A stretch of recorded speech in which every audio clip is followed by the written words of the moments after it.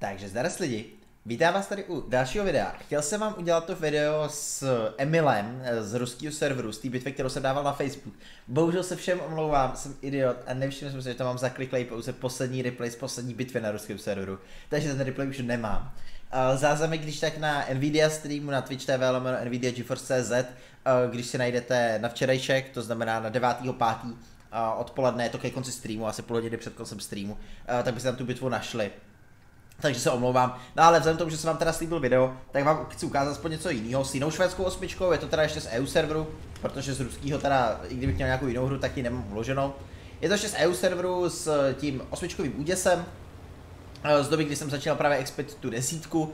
Je to docela zajímavá hra, která ilustruje docela dobře kvality eh, tady tohoto toho stroje a způsob eh, jakoby, ve kterým ho, kterým ho využijete nejlíp a situace, ve kterých ho využijete nejlíp.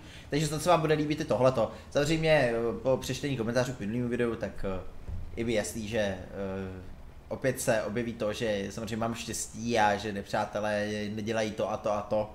A asi to nemá smysl komentovat. Takže to si udělejte názor samozřejmě každý sám.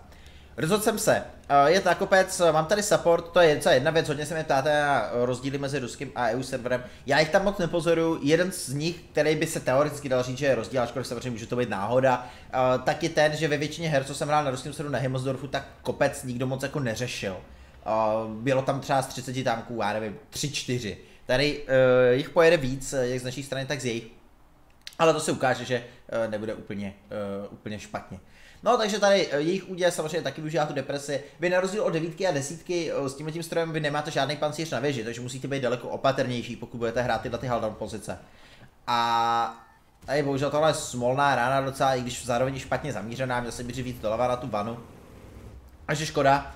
A jinak teda, aby, aby bylo jasno, abych to takhle jako řekl, tak uh, stream goldy, nebo ta munice na dvojce taky goldová, uh, ten rozdíl penetrace, tam tuším asi 40 mm, 253, jo, 253 versus 217, takže uh, tady tenhle ten stroj má víc penetrace, než má právě ten Emil, který ho teďka jezdím na ruském serveru. A u toho Emila je to jeden z jeho největších problémů, tady jsem nikdy s penetrací velký problém neměl, navíc ty náboje lítají fakt hezky, ty golový teda lítají i rychleji, ačkoliv tady zrovna tuhle tu vzdálenost jako nemusíme si řešit rychlost střely. No, já jsem se rozhodl to pušnout, já jsem se rozhodl to pušnout kolem toho hradu, jede se mnou ta E1, a máme tady ještě další dva tanky, Eh, s tím, že něco by teda mohlo být tady, tady vzadu, tady, to hezky, tady by něco mohlo být, ale uh, zkusil jsem to, mám tady prostě se mnou autoloader, tak uh, se mu snažím pomoct, takže, takže tak. Tady samozřejmě teda uh, ty goldy už byly zbytečný, takže jsem to přepnul na APCRK, protože tady, nebo klasický APCRK, protože tady není důvod. Teďka je tady uh, ten JT, takže si výjíždím radši proti čemu JT. Teďka třeba kdyby chtěl uh, tu dvojkovou munici, kterou jsem teďka znova nabil, tak bych ho mohl do vrchního plátu. A že teďka bohužel jsem trošku využil té jedničku, snažil jsem se mu pomoct jenom jak jsem mohl, ale tak tenhle ten tank nemá nějaký skvělý DPM, jako máte 360 alfu a nabílo mě to 9,5 vteřiny. Ještě ještě se směrnicí nebo tak nějak. Takže samozřejmě žádný velký zázrak. No a tady uh, si to radši chci posichrovat. Takže naštěstí opět další skvělá play od mého týmu. Tady musím fakt vyzvihnout můj tým.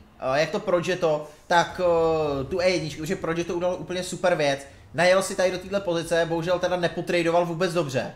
A to, ta druhá část už mu nešla, protože byl prostě před autoloader. A mě teďka začíná ze zastřílet ten Tiger. Každopádně tohle to udalo skvěle. Takže mě stří ten, ten Tiger někde ze spoda, někde tady z těch míst, možná z těch kolejí až, nebo tady bude kdo ví kde. A, takže já jsem si zajel tady za tuhle tu uh, zřícení té věže, abych se trošku kryl. No a naštěstí ten tým začíná teďka jelovat na toho baťáka. Uh, ten úděs má takový dělo, já už teďka pomalu začínám zdrhat, ale říkám si, že ještě bych možná mohl zkusit to uděsat a nakonec jsem si to rozmyslel, protože jsem neviděl, kde ten Tiger je a nechtěl jsem dostat další ránu za 320 uh, eh, damage. Takže momentálně se ta bitva nevyvíjí úplně dobře, máme to 5-8, Tiger se spotnul tamhle a tohle je smolná rána, tady jsem mířil docela dobře, bohužel to dělo zalítlo, uh, no ta rána zalítla. Uh, u toho uděse je to takový jako všelijaký s tím dělem, no někdy vás to podrží a někdy vás to dokáže hrozně potrolit. No, co se týče toho kopce, jsme tady my dva, tady teda to objíždí desítka, ale to je momentálně úplně ze hry, to bude trvat ještě třeba tak půl minuty, než vyjede nahoru. O, jsme tady jenom my dva, ale zatím AMXO, jakožto topová hevina, tak drží hápka. A díky tomu, že já ho tady v tom nenechám, protože bych to taky dělal, nemám kam jenom jezdit, tak o, tady máme ještě docela slušnou šanci ten kopec vyhrát.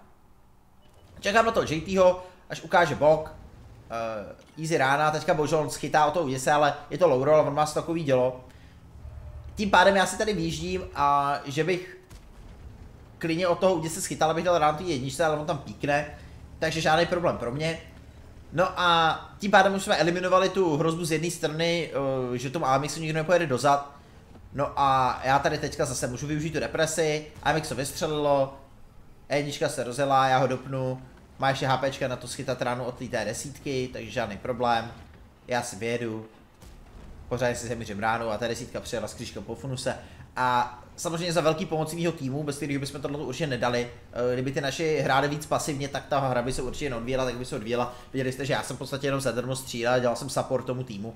Ale to je prostě, to je prostě způsob, se kterým byste tady ten stroj měli asi hrát. Rozhodně to není nějaký uh, frontline válečník, určitě by se vám s ním nepovedlo zahrát tu stejnou hru, kdybych jel do té první linie, tam kde jelo třeba to Progetto, nebo kde jela ta jednička, tam bych cítnul úplně stejně jako oni. Nemáte v podstatě absolutně žádný pancíř, nabíjíte dlouho, dělo vás občas potrolí, takže takže určitě tady tahle cesta toho supportu je asi lepší s tím tím strojem. A bohužel samozřejmě jste závislí na vašich teammatech.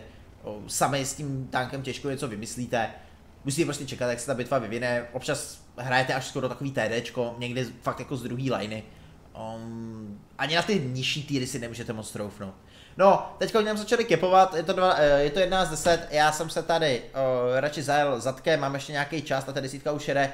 Uh, většinou v těchto těch situacích oni kepují za tím kostelem, takže tady jsem se dokonce spotnul a asi na tu Škodovku. Tady Škodovku jsem dopnul, nakonec ukázal, že nekepují za kostelem, ale kepují tady, uh, tak tím líp pro nás a je už teda zase zbytečný ty goldy, ale tak mě to bylo v tu chvíli jedno, já jsem kredity neřešil, takže, takže tak. Takže nakonec Arta dopla tu TS5 a já teďka jsem se ještě chvíli zamířil a zabil jsem mi toho Tigra, takže válečník, toho bychom měli, no a zbývá poslední škorpion, a teďka už jsem se teda rozhodl ušetřit. Mohl jsem teď nabít hečko. Mohl jsem teď nabít hečko. Já jsem to bral tak, že k němu jedu sám, nechám se jednou trefit a je ve výsledku jedno, jestli po něm s tím APC nebo hečko a to hečko mě teoreticky mohlo potrolit, že by střelil třeba do děla nebo do pásu, proto jsem nabil uh, základní náboj. Uh, takže jsem ho trefil toho škorpa a tady se bohužel ukáže jeden z nešvarů tady toho tanku a to je ten uh, dlouhý reload, protože než já prostě stihnu nabít, tak uh, Petimanu, Petitmanu 19 uh, ve svém Včku to dokončil tu bitvu. Za mě. Takže 6 kg, 5k damage, uh, necelých. Samozřejmě, jak jste viděli, s velkou pomocí mýho týmu a já jsem tam prostě farmil. Ale uh, s tímhle tankem nemám jinou, jinou hru, která by stála za to vám ukázat, takže aspoň takhle. Je to spíš náhrada za to video s tím Emilem, za což se omlouvám, protože jsem si fakt nevšiml, že tam, uh, že tam nemám nastavený reply. Uh, takže tak, takže spíš takový kratší videjko dneska. Uh, můžeme si ukázat screeny, screen první, takže uh, je to teda Mko, ta nějaká Nikolsova medaile se myslím jmenuje za to, že zabijete, myslím, že dva tanky o týr vyšší s metkem. Ne, čtyři tanky o týr vyšší s metkem, ne dva, sorry. Čtyři tanky o týr vyšší s metkem, jak Tiger Škodovka a jednička, to je desítka konkrétně.